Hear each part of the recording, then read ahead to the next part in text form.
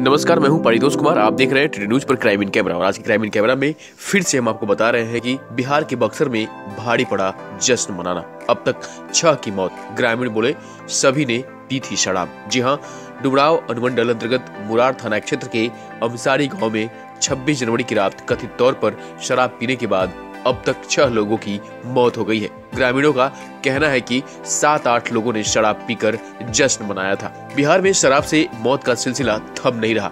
नालंदा और सारण के बाद अब बक्सर में 26 जनवरी की रात में 27 की सुबह तक छह लोगों की मौत हो गई है। कई अन्य की हालत गंभीर बनी हुई है। ग्रामीणों का दावा है कि इनकी मौत शराब पीने से हुई। बताया जाता है कि डुमराव अनुमंडल अंतर्गत मुरार थाना क्षेत्र के अमसारी गाँव में 26 जनवरी की रात शराब पीने के बाद पाँच लोगों की मौत हो गई है। दो तीन लोग अस्पताल में जीवन और मौत के बीच जूझ रहे हैं। ग्रामीण सूत्रों के अनुसार 26 जनवरी की शाम सात आठ लोग शराब पीकर जश्न मना रहे थे। देर रात मौत का सिलसिला शुरू हो गया।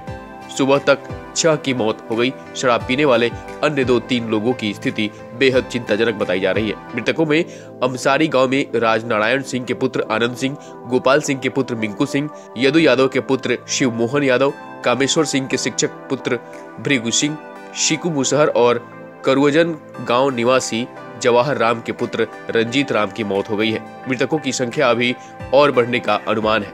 तो फ़िलहाल आज की क्राइम इन कैमरा में इतना ही। आप देखते रहे न्यूज़। नमस्कार। नमस्कार, मैं हूँ परितोष कुमार। अगर आपको हमारा यह वीडियो पसंद आया है तो इसे लाइक और शेयर ज़रूर करें। और हाँ हमें सब्सक्राइब करना और फॉलो करना ना भूलें, ताकि आप देश दुनिया की कोई खबर मिस न करें। चाहे कोई ब्रेकिंग न्यूज़ हो या कोरोना वायरस से जुड़ी कोई भी अपडेट पॉलिटिक्स हो या आपके हक से जुड़ी कोई खबर, इलेक्शन की कोई न्यूज़ हो, कंट्रोवर्सी की कोई न्यूज़ हो, या फिर कोई वायरल वीडियो, सब कुछ मिलेगा टीडी न्यूज़ पर। तो जुड़े रहिए हमारे साथ और देखते रहिए टीडी न्यूज़, सच्ची और बड़ी खबर।